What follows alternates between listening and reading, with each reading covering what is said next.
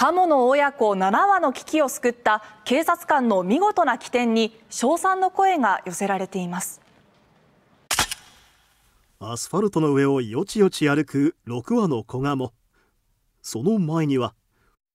親ガモを両手で抱える警察官の姿。これは町に迷い込んだカモの親子を警察官が助け出す一幕を捉えた写真だ。この写真がインターネットに投稿され話題を呼んでいる。まさかカモの親子を川に返してここまで話題になるとも思っていませんでしたし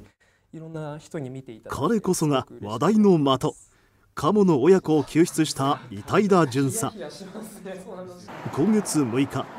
札幌市の車の往来が激しい道路の真ん中にカモの親子が取り残され危険だという通報を受けて現場に駆けつけたのだ。周りはですねすごく交通量の多い片側3車線か4車線の国道なのでもうトラックや乗用車などがもうビュンビュン通っているようなすごく危険だっていうような状態でした。交通量が多い道路。助け出そうにも言うことを聞かないカモの親子。そんな窮地を救ったのは遺体田巡査の起点だった。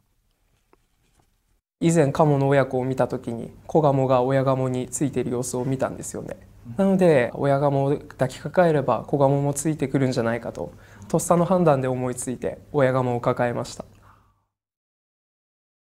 親ガモを抱えて歩き出す遺体田巡査すると子ガモたちは後を追うように歩き始めた